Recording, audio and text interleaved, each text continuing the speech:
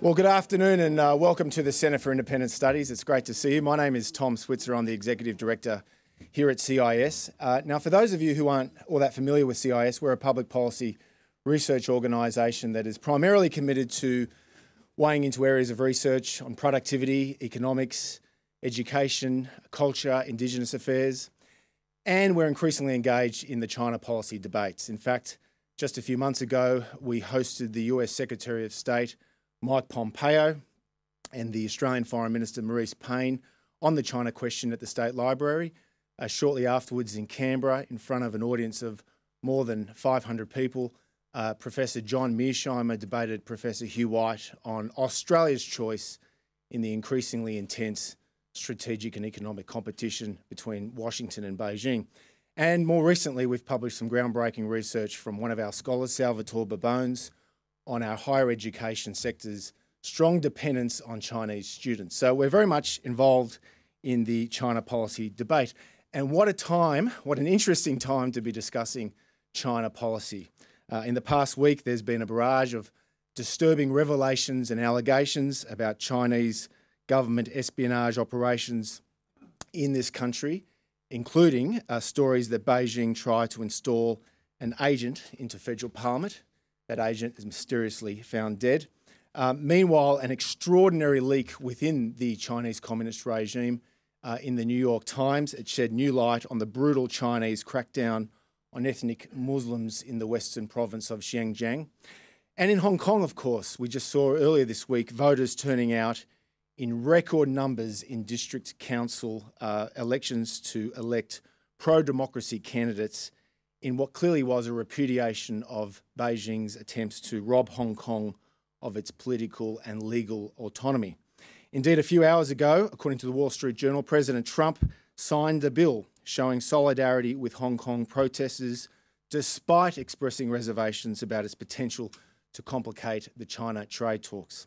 Now, all this has taken place, of course, as Beijing has denied uh, uh, two Liberal MPs uh, a visit to China.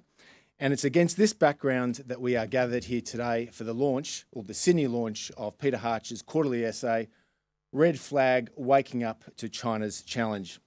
We'll hear from Peter soon, uh, but first I'd like to introduce our special guest of honour here today. Uh, Julie Bishop uh, was Foreign Minister uh, from 2013 to 2018.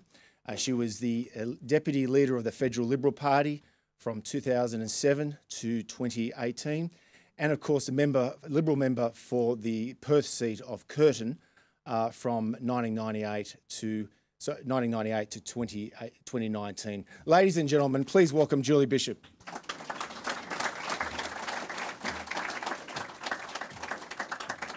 Thank you, Tom, and I'm delighted to be here at the Centre for Independent Studies to launch Peter Hartcher's thoughtful yet provocative and timely essay, Red Flag China's Challenges.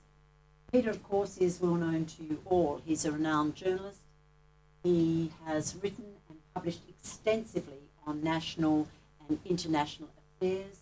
His opinions, his commentary is generally without fear or favour, and he always calls it as he sees it.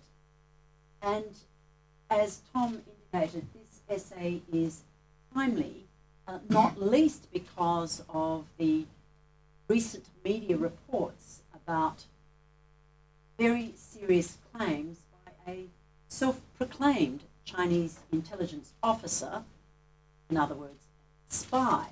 And I know that the Australian Security Intelligence Organisation, ASIO, and other security agencies will be working to establish the veracity of these allegations. But nevertheless, this and other issues around foreign interference have certainly heightened the Australian public's interest in our relationship with China. Australia is a robust liberal democracy. We are committed to freedoms, the rule of law, human rights, democratic institutions. Indeed, this is our fundamental strength as a nation, as Peter so eloquently articulates in his essay, is our greatest strength under challenge? Well, according to the recently retired Director General of ASIO, Duncan Lewis, the scale and scope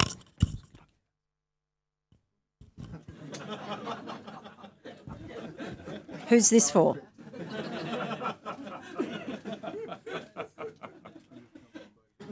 the scale and scope of foreign intelligence activity against Australia's interests is unprecedented. And he said, while not confined to China, the capability and intent varies greatly among those who are involved in this kind of activity. And he went on to say that foreign interference could pose an existential threat to Australia, given that its insidious long term impact could take years to manifest. And the threat could well be in the form of a loss of faith in the integrity of our democratic processes, our voting system, indeed, whether our elected representatives are subject to improper influence or control. And Peter has given some rather graphic examples of where and how this has occurred. Given that ASIO and also I note Nick Warner, the current Director General of the Office of National Intelligence, has also given similar statements before a Senate estimates hearing this week. Given these warnings, what is Australia's response? Well, let me take a practical response first. Clearly, we need to harden our technology infrastructure against cyber intrusion. And this means collaboration with our security agencies um, under the direction of the Australian Signals Directorate and the Cybersecurity Centre in Canberra. That level of co collaboration and cooperation must extend across all governments, um, business, educational institutions, and the like. And we must also, as a nation, develop our own and invest in and engage with best practice when it comes to the protocols and platforms to resist, counter the kind of cyber attacks that we have seen and have experienced. And the fact is, we are all responsible for our technology security. Within the political system, the foreign interference, intrusion can take many forms political donations, candidate selection, intense lobbying. And Peter has again given very graphic and current and contemporary examples of this. It's incumbent upon our political parties to work exceedingly closely with our security agencies so that improper interference, improper behaviour can be detected early and countermeasures taken. Uh, we have also introduced legislation that has given rise to the Foreign Interference Transparency Scheme with a public register to give more transparency and accountability to the relationships that exist or will exist with foreign governments, foreign entities, corporations, individuals, and the like. I think the Parliament should also consider electoral reforms, and one example would be in the more timely disclosure of political donations, as we have seen in other countries. Now, we're trying to manage all of these issues while we are managing our economic and strategic relationships with great and powerful nations. For the first time in our history, as Peter points out, Australia's major trading partner is not also our major defence strategic and intelligence partner. And this gives rise to very challenging issues, as Peter has set out. The fact is, the United States and China are currently in economic conflict. It's been called various things from a trade war to trade tensions but they are in economic conflict and it has been coming for some time. There is absolutely no doubt that China's economic rise is nothing short of remarkable, lifting hundreds of millions of people out of poverty, going from a nation in the 1970s that was essentially isolated from the world to now the second largest economy on the planet, forecast to overtake the United States. Uh, with a corresponding rise in military and technological capability, its Belt and Road Initiative designed to connect the world through Chinese investment and Chinese influence. There's still a judgment to be made, and only time will tell whether China's economic model will enable it to continue its economic growth and that trajectory.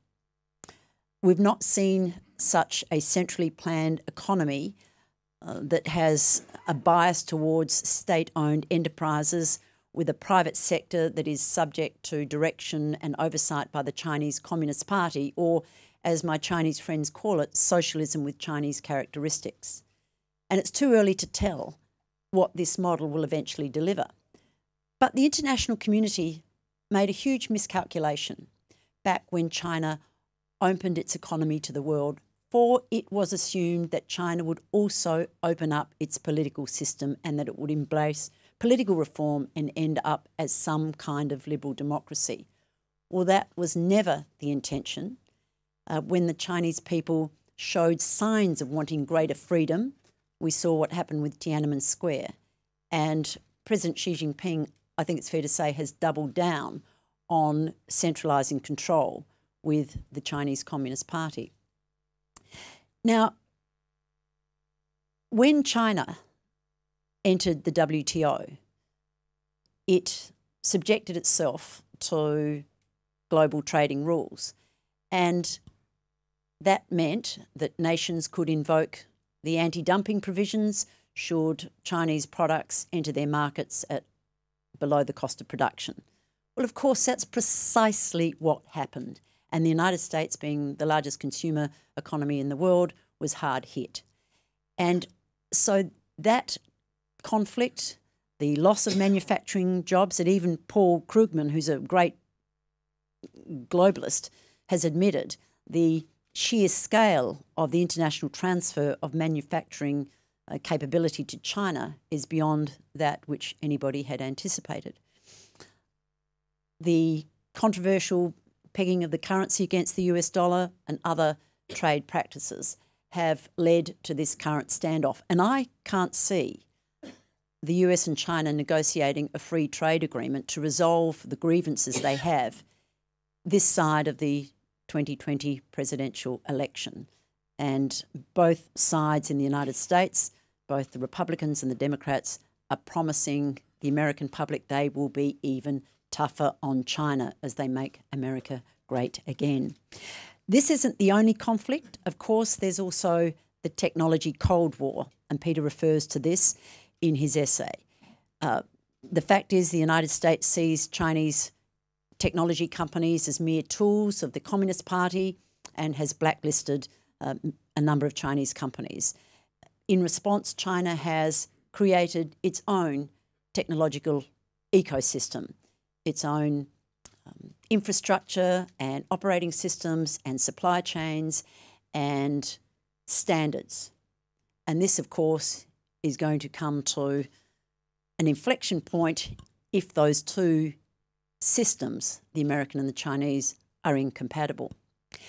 And it's led the United Nations Secretary General Guterres to speak of the great fracture, where he says the world is splitting into two.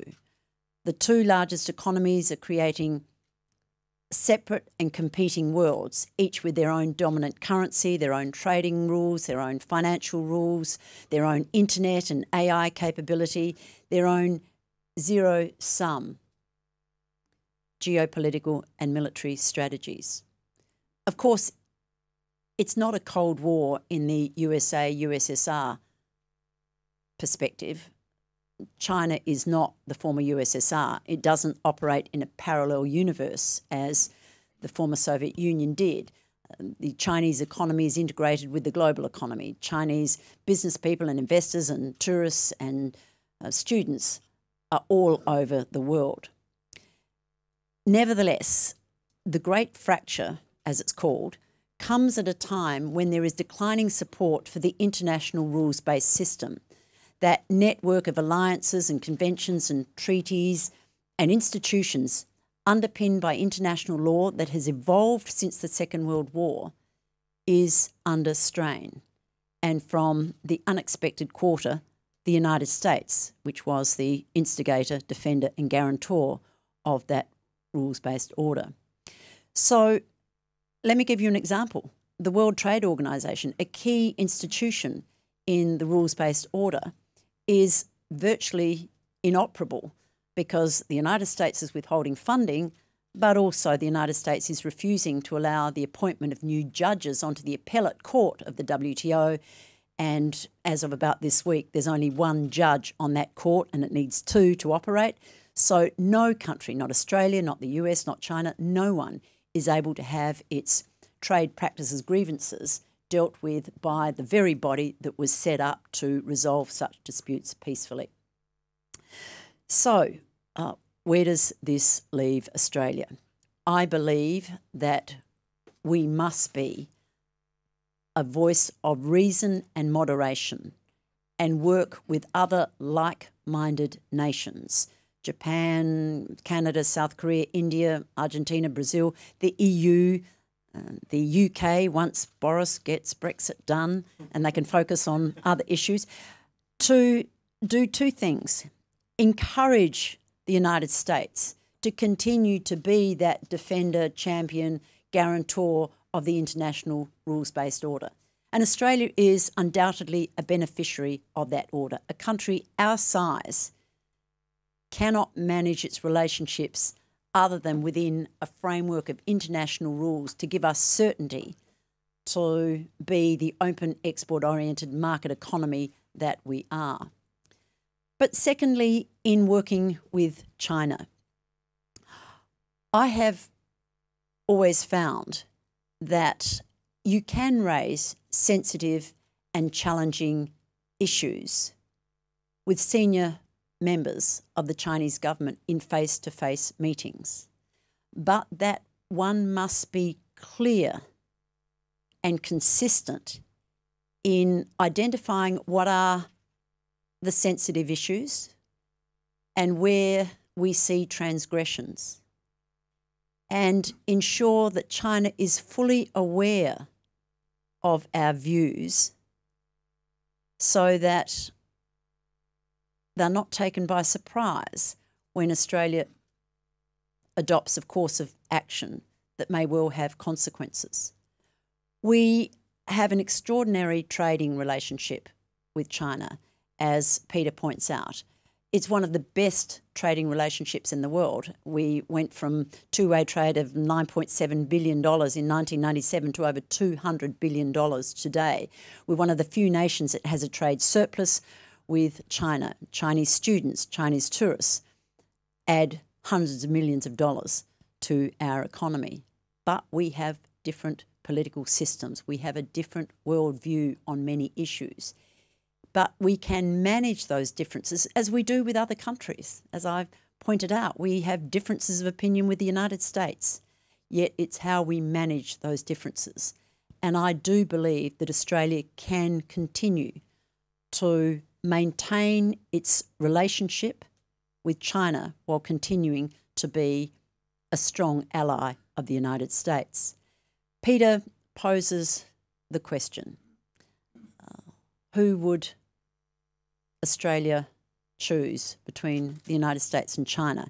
And I have to say, I am asked this question almost on a daily basis who should Australia back? And I always answer we back ourselves, our values, our interests, our priorities, our principles. And as Peter Hartcher so eloquently put it, we always choose Australia. Thank you.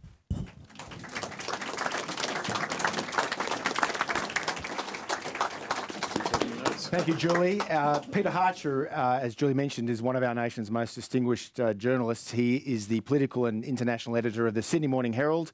Uh, before that, he was the Asia Pacific editor at the Financial Review, as well as a Tokyo and Washington correspondent for the Fin Review and the Sydney Morning Herald. Uh, Peter's essay, as I said, Red Flag Waking Up to China's Challenge. Copies are available at reception. Um, I had the pleasure this uh, week, along with my ABC colleagues uh, uh, Leigh Sales and Geraldine Doogue, to interview Peter, and it's a great pleasure to welcome here to the CIS.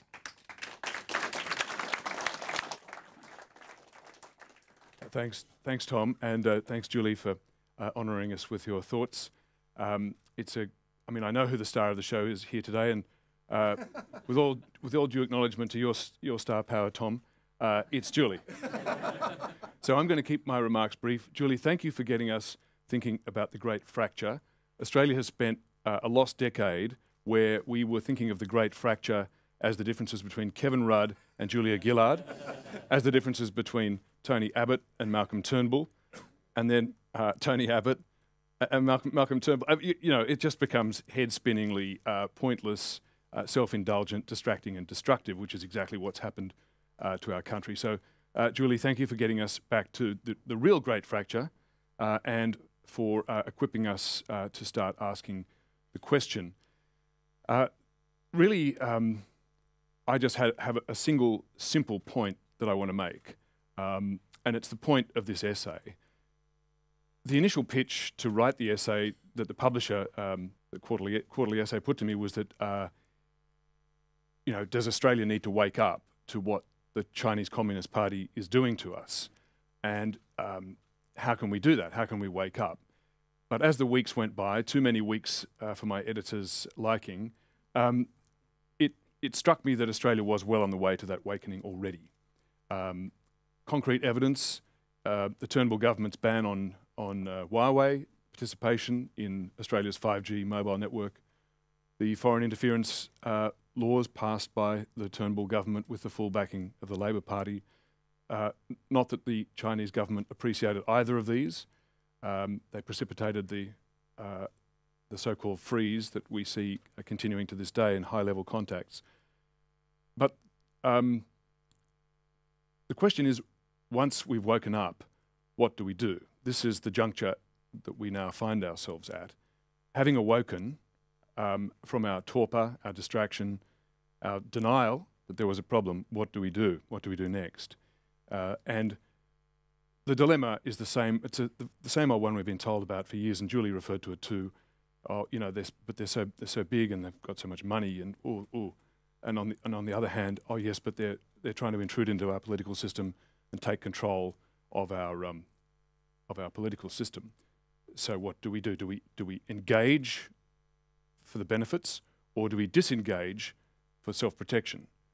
Uh, my formula is simply that we do both.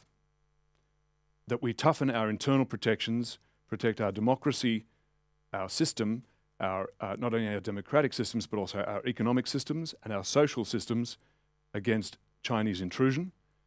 Uh, having done that, we can then confidently get on with the other part of the equation. Instead of living in fear and you know the preemptive kowtow, oh, the Chinese will be angry with us, uh, which has been a tremendous piece of credulous uh, sort of uh, willfully self-imposed servitude that Australia has fallen for, the theatrics of uh, the high-level um, noise box, the propaganda machine, which the Chinese like to call thought work, which I think is a very interesting illustration of how they see it. And their thought work worked well on Australia. Um, Julie Bishop, as foreign minister, was often getting beaten up uh, because uh, she would resist the Chinese thought work. Uh, nobody seemed to pay any uh, heed to the fact that the trade relationship would boom, continued to boom, even last year, where there was a minor panic every few months in the Australian media or political system about the China freeze. Two-way trade grew by 17.5% last last calendar year between Australia and China. Um, so we shouldn't fall fall for that. Uh, we should, having toughened our internal systems, we can then confidently get on with the engagement, with the cooperation on all the really important issues where we must engage, not only economically. Uh, you know, we do like this thing called an economy. We like our living standards. We can't do without that realistically, politically. Uh, nor can we, you know, looking 50 years ahead, how do we conduct ourselves on uh, transnational crime, climate change, whatever the issue, without a cooperative working relationship with the region's dominant power? We have to do both. We don't want to be taken over by an authoritarian project, nor do we want to surrender a functioning relationship with the most important uh, power in our region. Let's do both. Uh, so let's, uh, let's toughen our system so we can engage confidently. Simple as that. Uh, but having said, having called it simple, uh, we all know that the execution uh, is, is, is the hard part. That's all I want to say. thanks to all of you for coming, and I think Tom's got a couple of tricky questions for us in mind. Thank you, Peter. Peter Hartcher. This month marks the 30th anniversary of the, the fall of the Berlin Wall, and Francis Fukuyama, uh, past guest here at CIS, famously declared the end of history, the triumph of Western liberal democracy. And the, uh, the conventional wisdom in Washington and Canberra, as uh, Julie mentioned, was that the more capitalist uh, China would become, the more uh, prosperous it would become, the more likely it would become uh, liberal and democratic. As you make very clear here in your columns and in your essay, that hasn't been the case. why were we so naive? We were naive because uh, it was convenient, because it meant that we could get along with uh, the trading side of the thing and put the whole political, ideological, Marxist Leninist construct to one side and get on with business and make, making money. Uh, and we were conceited. There was an ideological conceit there that thought that our system must be the best and everybody inevitably will arrive at the same conclusion. So we don't have to worry about that. And my only uh, uh, other point would be uh, that deluded the whole the whole world really, but the US as the sort of ideological and political uh, leader and thinker on all this stuff for what 20 years or more mm. uh, into being, uh, you know, um, conveniently distracted. Many people would like to do the same thing again now based on another argument. They would like to defer uh, and prevaricate some years further by saying, we don't have to worry. The Chinese system has so many inherent problems, it's going to collapse anyway. Uh, there's an economic collapse coming, there's an environmental collapse coming, uh, there's a demographic collapse coming. Don't worry. Well, I would suggest that would be the same mistake on a different premise. We don't have the time. Uh, we see the relentlessness and the success of China's intrusions uh, around the world, including here. There's a member of the New Zealand Parliament uh, sitting today uh, who uh, spent 10 years working for Chinese intelligence uh, he didn't think it was relevant to disclose that fact before standing for office in New Zealand. He sits today in the New Zealand Parliament.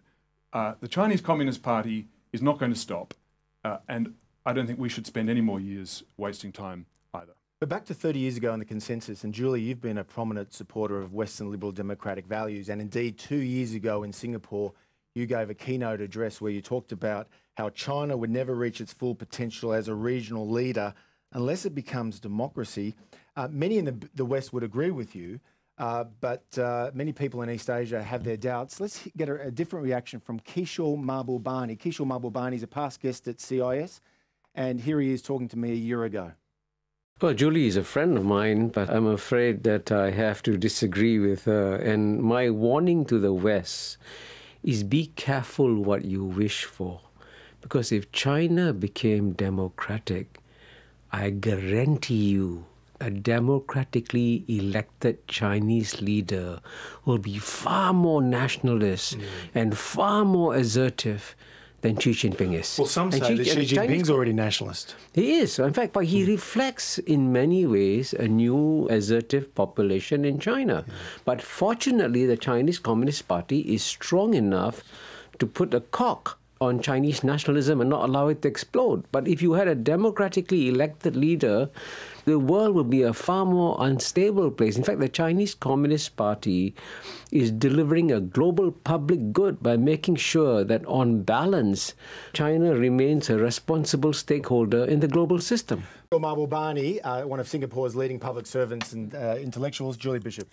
Uh, I'm a friend of Kishore's and I agree and disagree with what he has said, in that what I said in the Fullerton lecture was a statement of fact. It was not a criticism of China. What I said is history has shown that for a nation to achieve high income status, they have, in the main, been a Western liberal democracy, apart from some oil rich monarchies and a few uh, other uh, examples. The fact is, history will show that high income status is achieved by democracies. My point being, if China achieves high income status, and it's yet to show that its model will overcome the middle income trap, for example, but if China were to achieve that, it would be unprecedented. It hasn't happened before. Now, I thought it was a remarkably benign comment, but it was picked up by no less lesser authority than the Global Times, who decided that, that I had said that unless China becomes a democracy, it will never reach high income status. That's not what I said. But uh, I agree then with what Kishore says about the potential for a democratic China to be an even more complex country to deal with because you could see leaders and parties emerge on very nationalistic issues and take a very nationalistic approach to what they would see as China's core interests. Now, during your five years as uh, foreign minister, you were widely seen as tough on China. Um, uh, you've read the book published by Peter. Um, to what extent are you surprised about these allegations and reports about uh, the Chinese espionage operations? Well, if being tough on China meant I stood up for Australia's interests on all occasions, well, then yes, I certainly did. But I hope I did that in relation to my dealings with every nation and uh, always put Australia's interests first. Uh, I think I received far more lectures from China than I ever gave to China. But um, I'm surprised by the extent of Peter's knowledge of what's been going on. But as a member of the National Security Committee of Cabinet over the past five years, from 2013 to 2018, and being exposed to classified briefings over that time, no, I'm not surprised.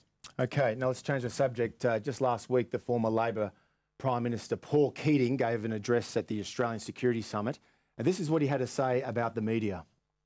There's alarm in Australia at the scale and speed of China's rise, and this comes out particularly in the hysteria in the media, especially the Sydney Morning Herald and the Age, but run up often clearly in the rear by the Australian.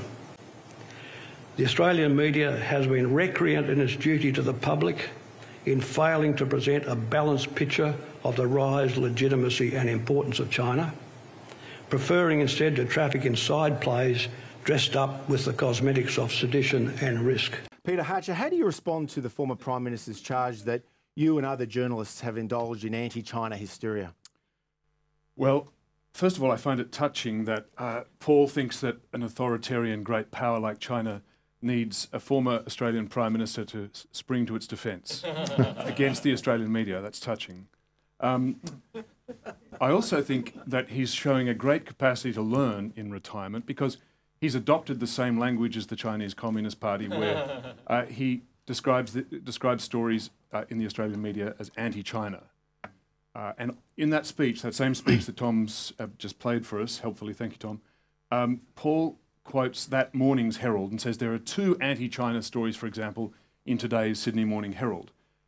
And, he called them anti-China stories. The first was the uh, international story of the New York Times getting hold of 400 pages of internal Chinese Communist Party documents uh, detailing how Xi Jinping had led the systematic repression of the, the Uyghur people of Xinjiang province. Uh, and that was a story that went worldwide. Now, that, according to Paul, is an anti China story. The second one was um, a story by a correspondent who, had, uh, who quoted a politician in the Solomon Islands saying that Chinese agents were offering bribes of 200,000 Australian dollars equivalent uh, to Solomon Islands politicians to encourage them to switch Solomon Islands diplomatic recognition from Taiwan uh, to China. Now, Paul Keating says that also is an anti China story. So, anti China, of course, the implication is that we shouldn't run it. Now, um, what do you think? Is, is our responsibility to keep the Australian public informed about the nature of this great power with which we are dealing, or to censor ourselves uh, because we might upset them? And the final point I'll make before shutting up, uh, Tom, is that um, Keating also went to the question of balance. Uh, you need balance in portraying the country, the relationship. You're in denial about its importance and its legitimacy and its authority. Uh, so I got our editorial library to do a quick count. So far this year, we've done about 130. The Herald had published 130 stories uh, on the Chinese economy, about a third of those directly on the Australia-China uh, situation. So uh, if he wants balance, well, I, I, submit to you that that's that's okay. Balance. But isn't Keating's point though that all great powers do things to advance their interests, and that compared to other great powers, China's conduct, all things considered, is relatively benign. You think about this, this is the point that many people in the business community will say in the last 40 years, China has not fought a war, whereas the United States in the last year of Barack Obama's presidency, uh, this was in 2016, dropped 26,000 bombs on seven nations. So why are we so hard on China? well, yes, I, I, see. Yes, we should all feel sorry. Uh, we should. No, look, it's ridiculous, right? Um, what's the metric uh, that we seek to apply here? that uh, we should forgive China whatever it does because it's uh, less bad than the Roman Empire or the Huns or I mean, what's the metric? Of course, it's absurd. The metric is the welfare and prosperity of the Australian people. That's the absolute with, by which we should measure things. Uh, if the Chinese Communist Party is intruding on the welfare and prosperity and the, and the liberties of our country, then of course we should react firmly against those. Okay, now this is uh, the former ANZ CEO Mike Smith. He reckons that Australians are arrogant when they deal with China. Uh, they say that our leaders, especially Kevin Rudd and Julie Bishop, uh, lecture the Chinese. There have been no bilateral leaders or foreign minister visits for over two years. Now, some, such as the former ambassador to China, Geoff Raby, they say, um, Julie Bishop, you should accept responsibility for the poor state of the bilateral relationship with China. Your response? I would give some credence to Geoff Raby's views if he bothered to declare his many conflicts of interest. However, as I said, I believe I received many more lectures from mm. the Chinese than I ever gave in return. I always dealt with them on a most uh, respectful basis, and what I said, I was always promoting Australia's interests, and I had the same message both publicly and privately. The Chinese could never accuse me of taking them by surprise with a position because I was always consistent, whether it was on the South China Sea or air defence identification zones or our relationship more generally. I was always consistent. And I found that my personal relationships were very strong. Foreign Minister Wang Yi and I, after an initial dressing down that I received in front of the Chinese media, who were then ushered out once I'd worked out what he was actually saying to me and tried to respond. Um, after that, we made it our business to get along very well, and we did. And there were some moments where we worked exceedingly closely together, like over the disappearance of MH370, which was an issue that went to the very heart of uh, the um, Chinese Communist Party because of the number of Chinese who were lost and they had no answers for it. And Australia and China worked exceedingly closely on that issue. And that was through the personal relationship that I had with Wang Yi. So I reject entirely that um, I mishandled the China relationship in any way. In fact, um, I maintain very good connections uh, within China. But let me just say this um, China's practice of putting nations in the freezer is heavy handed. And Australia may be in the freezer, we might be at the door of the freezer, but other nations have been in that same situation, and Peter, in fact, um, set them all out. It's how you resolve it. You don't cave in and um, suddenly throw all your interests and priorities and values and principles to the wind. You manage these issues as we do with every other nation. Now, um, the relationship with China is two way, as our relationship with is is with other countries, and both nations must decide to continue to work together for the betterment of our respective countries. And as Peter pointed out, even when um, Australia was supposedly in the diplomatic freezer, our economic and trading relationship continued to blossom. So China can draw a distinction, so should we. Now, perceptions about your foreign ministership obviously vary. You've got your Rabys and your Carrs who will say that you were too hard on China, Mm-hmm. but you did push hard for Australia to have an extradition treaty with China. Why? because the Chinese believed that they had an agreement with the Howard government, as they did, to uh, provide and guarantee consular services and consular access for any Australian held in detention in China, in exchange for which the Howard government promised an extradition treaty. And China at the time made it clear that they were focusing on ensuring that people charged with um, fraud and, and other um, financial uh, crimes could not um, escape overseas. So there was a deal between Australia and China. Uh, it was always, of course, subject to passage through the Australian Parliament. So I, in honouring the agreement that was uh, reached with China, uh, was part of a cabinet that put forward that legislation.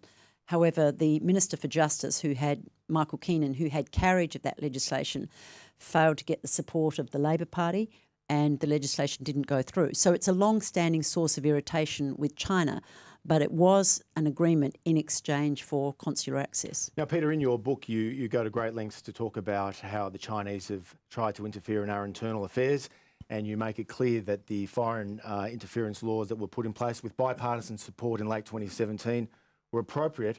But you recommend more measures to uh, guard, better guard uh, our sovereignty against Chinese intrusion. What are they? Yes, and I'm happy to run through them. Uh, first, let me just make a distinction that I probably should make at the beginning of every time I talk on this subject, which is that um, our, my concern is with an authoritarian political project called the Chinese Communist Party. It's not with the Chinese people. Uh, and we have 1.2 million Australian Chinese who make Chinese Australians who make uh, overwhelmingly positive contribution to our country. Uh, and um, I'm not in any way uh, reflecting on them, but I am talking about the Chinese Communist Party. Uh, so, so first, we should uh, uh, actually enforce the foreign interference laws, uh, which are not being enforced. It's a very tokenistic. Well, ask Tony so Abbott far. about that. Yeah. uh, well, I rest my case. um, second, uh, as Julie, Julie picked up uh, one of uh, my uh, suggestions as well, which is we have to uh, the political finance system has to be reformed. It's a, it's a Swiss cheese, um, and foreign money, uh, even though it's uh, technically banned now, political donations in Australia uh, are banned. Look, just to talk to um, Huang Xiangmo uh, and his the people that he was financing uh, here. So we need to fix that fix that problem. Um, another simple and easy thing that we can do by way of toughening our own protections without waiting on any other country or taking you know any particular uh, uh, real difficulty is to do what Australians think we already do. Most people think we already screen new MPs and senators for security clearances. We don't. Nor does New Zealand, obviously. Yes. right. So let's so let's learn uh, from the mistakes. Um, if you're an IT technician and you want to work in any government building, you have to have a security clearance. But you can enter our parliament, make our laws, run the system, and you don't need one. It's ridiculous. Uh, and as we saw again from the disclosure, disclosures by my uh, my colleague Nick McKenzie and, and his team uh, at company formerly known as Fairfax, now Nine, in the last week, uh, since Dastyari has gone, the uh, Chinese system has continued to try to get uh, candidates into our parliament and will not stop. Let's have security screening. Simple measure. And a, yeah, I, I, I was just going to say, I, I always found it extraordinary that uh, I, as foreign minister, uh, had no um, need for a security clearance. It was assumed by everyone around the world, and that's wonderful. But my staff um, had to go through the most rigorous security clearances to ensure that they had top level. Um, Okay, what but, do you make of but these? no politician is ever subjected well, on that, to that. on that note, uh, Julie Bishop, what do you make of the scrutiny about the new Liberal member for Chisholm, uh, Gladys Liu? Uh, when these allegations were made, the, the Prime Minister, Scott Morrison, came out saying it was virtually racist to raise these issues. What would your, what would your response be to the Prime Minister? Well, I uh, believe that uh, we should uh, address concerns as they're raised. I don't. I didn't see it being racist. I mean, you can't say that. Section 44 of the Constitution was racist. I mean, that was all about your qualification to be a parliament, uh, uh, be a parliamentarian, and some were able to read the Constitution, and others weren't. so Okay. that's the way it is. But it, it's like saying that was racist, uh, you know, against New Zealanders or something. It wasn't. Yeah, we'll go to questions very soon, but I just want to ask Peter and, and Julie a question about foreign policy because the Hugh Whites, uh, the Paul Keatings, the Bob Carrs, uh, they argue that China will relentlessly expand, that will eventually be in China's strategic orbit, and that America will retreat from the region. We're seeing signs of this according to these uh, figures uh, in the Trump administration. Either Trump in a second administration or a Democratic administration will accelerate calls to uh, retreat America from Asia. They're war weary, they're tired of the world after all these endless wars in the Middle East. If they're right, what does this mean for Australia? Peter Hartcher. Well, it means that we should uh, continue to get on with the task that we're slowly figuring out we need to get on with, which is to build a better independent capacity. Uh, we need to keep the US alliance, it's an, it's an Australian asset, uh, but recognising the trend, as you identified, Tom, uh, that the long run trend is for an American retreat. And we, we do need to be prepared for the, the day when we may have to go it alone. Uh, but That means increasing time, our defence substantially, Yes. correct? Absolutely, absolutely. So it's Um, at 2% of GDP now, would be going up to what, 4 Well, I, I don't know. Uh, uh, Hugh White says yes. Mm.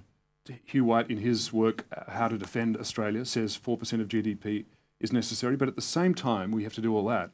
We have to, after pr- toughening our internal protections, get on with a thoroughgoing engagement with China as a part of that answer. But Julie hasn't answered. Well, I do, but no, I want to get Julie's response to this point because uh, the conventional wisdom in Washington still is that American preeminence in Asia will continue.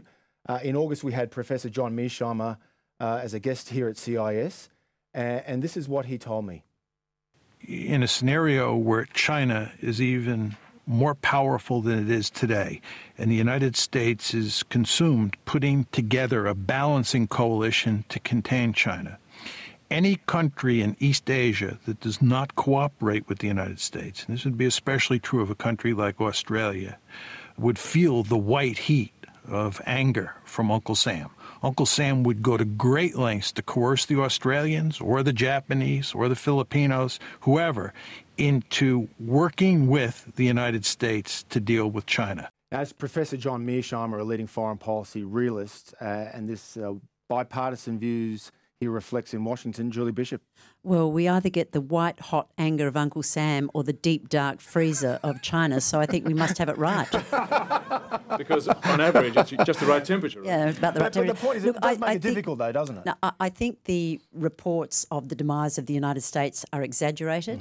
I still see the United States as continuing in its role, albeit in a different form depending upon the leader. But I still see it as being uh, the defender of the rules based order. Yes, it's not perfect, and yes, it needs reform, and the United States is doing it in a pretty heavy handed way, withholding funding and the like. But at the end of the day, the reason the United States is in so many conflicts around the world is because it is the only member of the Security Council that has the capacity to maintain international um, security, uh, if you like. And it's no bad thing that President Trump has called out NATO to lift its effort. It's no bad thing that the United States has called for other countries to shoulder the shoulder the burden of being the global policeman. It's not a role China is seeking. It's not a role China would adopt, I suggest. Um, you're not going to see China intervening in some of these conflicts around the world where no other country but the United States has the capacity or the will to do it, and I believe that will continue. Now it's time for Q&A. First question, Angus Grigg from the Financial Review. Angus. There you go, Angus. Angus is a former China correspondent in the Financial Review. Angus. Thanks, Tom. Um, I might ask Julie Bishop. Um, at what point do you think within this, within the Abbott Turnbull government, did attitudes harden towards China? Was it around the air defence zone, the South China Sea? Because there was a very clear turning point there. Can you just maybe sketch out for us how that played out? I, I, I would disagree. I, I think that our foreign policy position was pretty consistent, and I would urge people to reread the foreign policy white paper that we released in 2017 because I think that summed up uh, very much the coalition's approach to foreign affairs, global affairs, and the China US uh, Australia relationships. Uh, but there were issues in uh, the Abbott and Turnbull um, governments that irritated China from time to time, but they were issues that we would have taken in any event. For example, the unilateral imposition of an air defence identif- identification zone over the Senkaku Diaoyu Islands, um, whichever you call them, uh, was an issue that Australia should and would always, I would hope, call out because it was. Um, an attempt to destabilise the region. It certainly upset the Japanese. It um, caused more tension in the region, not less. Likewise, over the South China Sea, China does not appreciate our interest or focus on um, China's um, activity in the South China Sea. But as I've pointed out publicly and privately to the Chinese, it is very much in our national interest to ensure that there is stability and certainty and uh, the opportunity for um, overflight and and um, shipping transfers through the South China Sea because that's where the bulk of our trade goes. So we do have an interest in these things, whereas China would tell me it's none of your business, keep out of it. Peter Hartcher, if you look at the rise of great powers, the history of the rise of great powers, uh, as their power increases, their definition of their national interests increase. And they start to seek a sphere of influence in areas on which their prosperity and stability depend. We saw this with the United States in the 19th century when it intervened in Latin America. What's China doing that's so odd? Um, well, the community of uh, shared destiny uh, is the construct, the rubric under which China seeks to uh, establish influence. Um, and in one sense, what you're saying is absolutely right, Tom, that it's, um, it's, a, it's a normal ambition of a great power to extend its, to extend its power. Um, but because it's normal for large states to extend its power over smaller, is that a, a, reason that we should submit? I don't think so. Mm-hmm. Next question, Monica Lewis. Good afternoon. Um, Julie Bishop, given in particular the revelations over the past week about Chinese influence in um, Australian democracy, what is your reaction to Kevin Rudd's suggestion that the coalition is using Chinese foreign policy as an instrument um, for domestic as a domestic pawn? I reject Kevin Rudd's assertions, as I've done on many occasions. uh, no more. Uh, Peter, I mean, Kevin Rudd uh, launched your book in Canberra. How was your response to Monica? Uh, you're, you're, you're, confusing me with somebody else. I'm not a spokesman for Kevin, Kevin Rudd, Tom. Andrew Lowe. Um, Peter, just being a devil's advocate, you talk about uh, Australia needing to wake up to the China challenge. Uh, do we really need to wake up? It's, I mean, it seems to me that our institutions are actually dealing with it very well. The free, the free press, our securities agencies, the parliamentary system, um, you know, actually are, are clearly unfolding on a daily basis uh, uh, things that come up when they come up. And in fact, the level of chatter about China and the China challenge in Australia is completely way above any other country, whether it's in Asia or Europe, uh, even even in the US.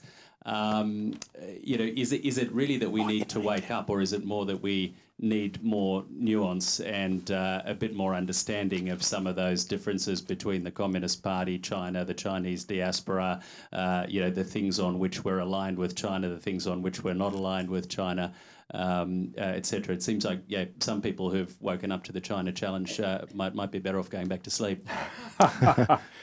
Uh, well, I disagree with you on this on this important distinction uh, that where you say that Australia is ahead of other countries, including the US, in waking up to the China problem.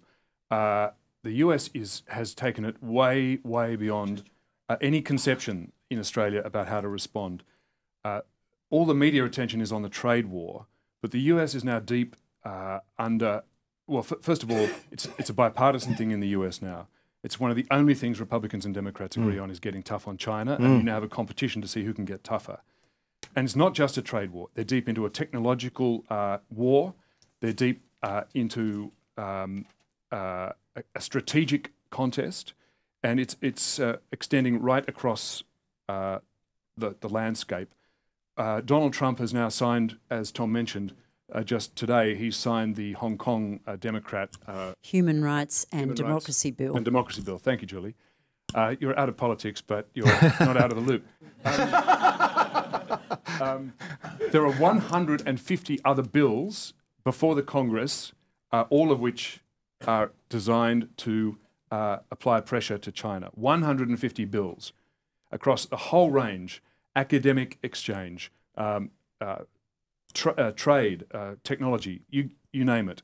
Um, now, if we don't deal sensibly, calmly, and practically with the Chinese Communist Party intrusion into our system today, we end up with something much more extreme, like the US response, which is an over the top uh, populist uh, contest now, uh, or we end up with um, a- a- our own indigenous um, populist movement in the form of an anti immigration backlash, uh, an, a racist uh, recrudescence uh, from the right wing of politics. These are all possibilities. If you don't deal with a problem logically and it becomes uh, overpowering, you get a backlash. And that is exactly the sort of backlash uh, that we need to prevent by being calm and rational now. And I hope and, hope and, hope and like to think that that's what I'm suggesting. Next question, Owen, a Chinese Australian from Brisbane. Thank you. Thank you, Tom. Uh, and thank you, Peter, for uh, today. Uh, definitely is a good lesson for me. Um, uh, there's no doubt my understanding is that uh, as a nation, um, we will have more firm actions um, to react to China's uh, influence. Uh, my question actually goes to Julie. Um, uh, is there a, uh framework to protect or, or a, a framework or protocol to protect the 1.2 million Chinese Australians living in this beautiful country um, from this uh, keep rising public sentiment? Uh, and I can see probably even possible uh, witch hunt of spies. Um, so yeah, that's that's my question. And then, uh, do you think that uh, uh, like we as a Chinese Australians have a role to play in our China policy? Thank you. Most certainly, the Chinese community is a very vital part. The Australian Chinese community is a very vital part of our society, of our economy, of our uh, life, our standard of living here in Australia, and um, we would not want that to change. When you say, is there a framework? Yeah, Australia's laws. We're all equal before the law, and uh, the uh, the Constitution treats us all equally, and that's one of the strengths of Australia. We're a democracy. If we have um, elected representatives that get out of whack with um, popular sentiment, they receive the ultimate uh, job assessment every three years in the federal parliament. Uh, but I think that the uh, rhetoric is important.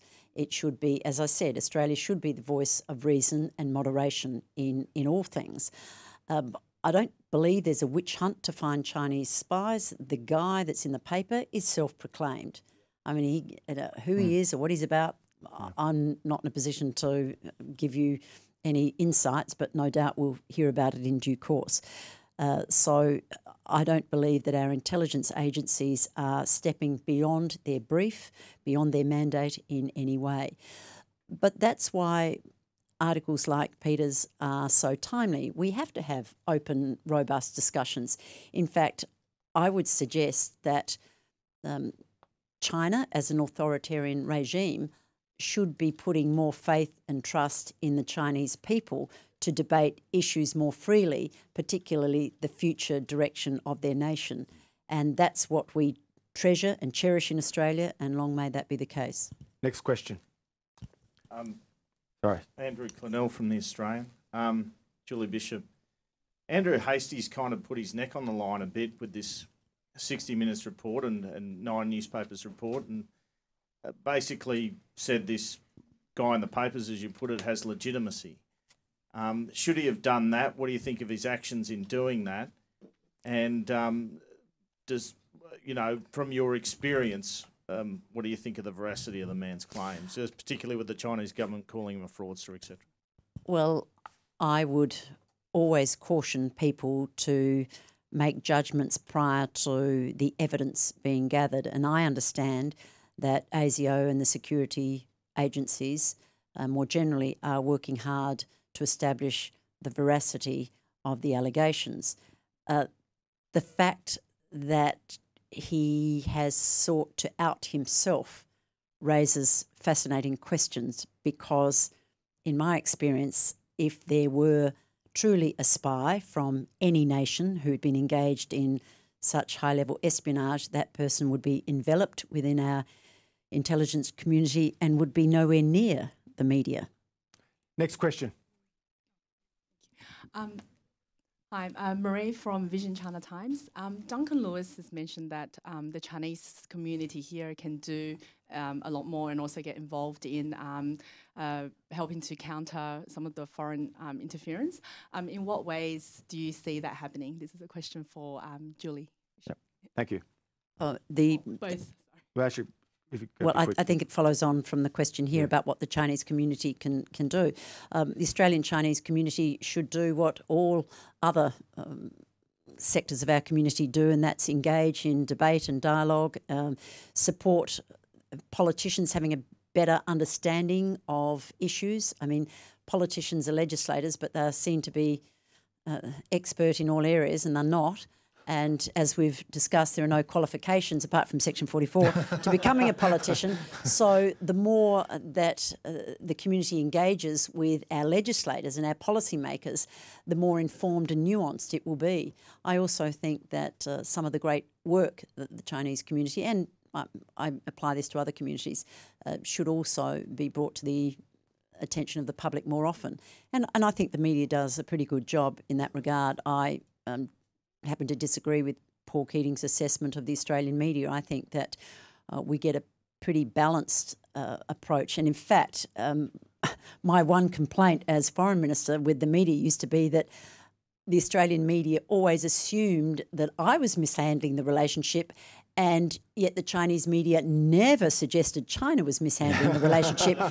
and I thought, come on, Australian media, do your job. Stop you know, just assuming that it's always the Australian leadership that's at fault if there's an yeah. issue with China. Next question, John Connor.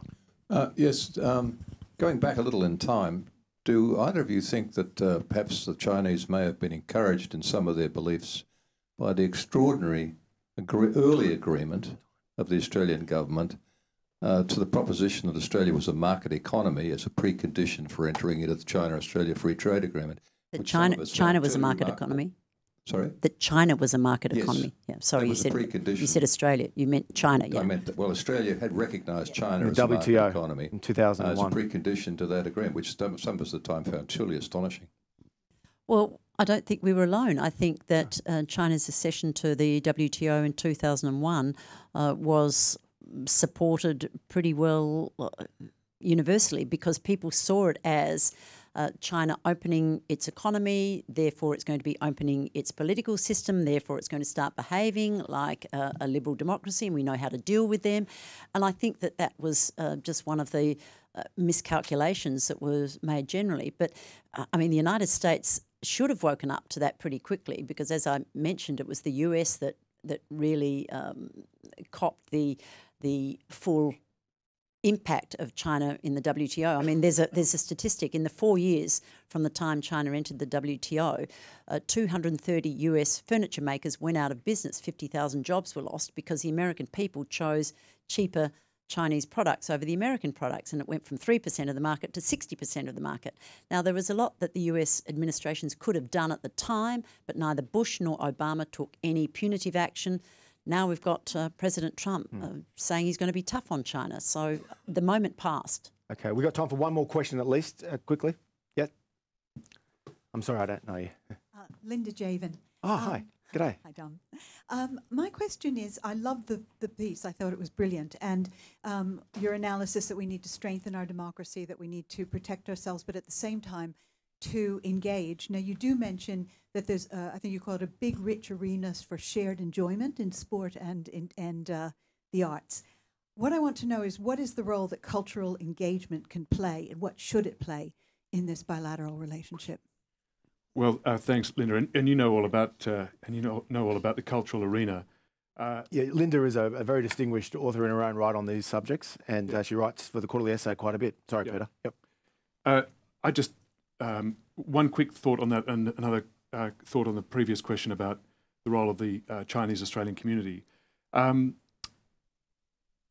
the cultural sphere can be fantastic, not just for the exchange uh, uh, and you know enrichment of each other's cultures, but for us to decode the meaning uh, of red culture, as it's called, the, the communism, uh, the Communist Party's uh, infusion of Chinese culture with political and ideological meaning, uh, is a wonderful way for Australians to come to understand that ideology, how China thinks, or how the Chinese government would like everybody to think, and to contrast our system with theirs, as well as uh, to share and to absorb and to learn.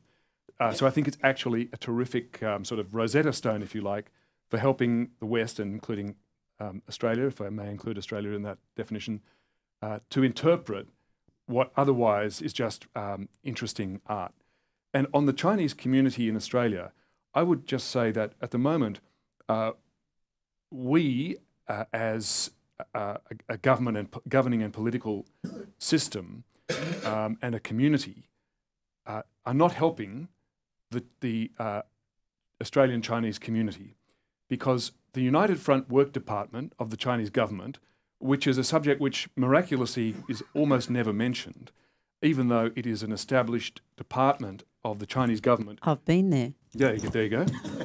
oh, Julie, do you have something you want to tell us? I'm just surprised you'd never asked me before. well, don't let me stop you. Just please spill it out. Um, so no, I'm just confirming it exists. Yes, absolutely. In, fa- in fact, the president of China, Xi Jinping, has called it one of China's three magic weapons. So if the president talks about it publicly in those terms, maybe we should take an interest. And I'm glad yeah. that the former foreign minister has.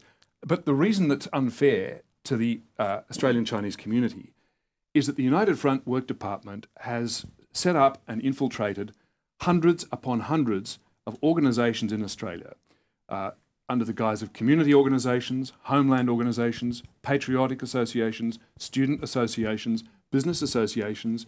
Uh, according to Professor Feng Chongyi from the University of Technology, Sydney, at least Oh, hello, Professor. He's here. He's here. There he is. There, he is. Yep, yeah. there you are. Well, I invited him. Yeah. correct me if I get get your quote wrong, but uh, the eminent professor said that there are more than 300 such groups in Sydney alone, and hundreds more across the country, uh, organised or infiltrated by the United Front Work Department. Now, those organisations put pressure on uh, members of the Chinese Australian community to side with them, and that means to side with a foreign power. Uh, they need help. They need help to be able uh, to, to get away from that pressure, to relieve that pressure to betray the country in which they've chosen to live, many of whom chosen to take citizenship, chosen to bring up their kids. The foreign interference laws are designed to do that, but they're not being enforced. If they are enforced, that will be uh, a tremendous help and a relief to hundreds of thousands of Chinese Australians who are, are feeling conflicted, pressured, and anxious. We need to reinforce uh, the value, the importance, and the priority of our own community and our own democratic beliefs over those of a foreign power. Julie, final word. Well, as I said in my remarks uh, in launching Peter's essay, Australia must always be true to its values, its interests, principles, priorities. And I do believe that Peter's final um, line that we must choose Australia holds true. And while we are walking a tightrope, we're not the only nation on the planet doing so. And that I believe with the kind of um, open, robust discussion that this essay and others uh, will provide, uh, we can have a mature and sophisticated relationship with both the United States and with China, as we should with all other countries that so significantly affect our interests. A good way to end proceedings. Please thank our special guests, Julie Bishop and Peter Hartcher. That's great. Well done, mate. Very good. Thanks, Julie. That was terrific.